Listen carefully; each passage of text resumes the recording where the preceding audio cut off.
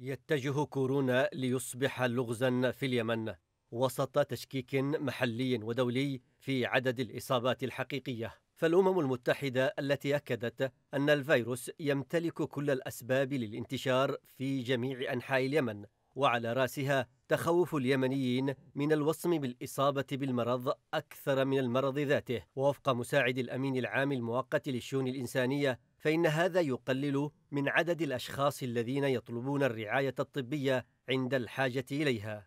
بالنسبة للأمم المتحدة فإن 85% من حالات الإصابة بالفيروس ظهرت خلال الأيام العشرة الأخيرة. ولذا فإن اليمن بحاجة إلى خمس أولويات. حماية المدنيين ووصول المساعدات والتمويل فضلا عن تحفيز الاقتصاد والتقدم نحو العملية السلمية. تكمن المشكلة في أن معرفة المدى الكامل لانتشار وباء كوفيد 19 في اليمن مستحيلا بحسب منظمة أطباء بلا حدود لأن القدرة على إجراء فحوصات الفيروس محدودة للغاية. أطباء بلا حدود التي تدير مركز علاج للفيروس بعدن أشارت في بيان حديث لها بأن بعض الأشخاص يأتون للمركز بشكل متأخر ما يجعل علاجهم أكثر صعوبة وهو ما يعقد من مواجهة الوباء. كانت اللجنة العليا للطوارئ قد أعلنت عن آخر إحصائيات الإصابة في المحافظات الواقعة تحت نطاق الحكومة المعترف بها دوليا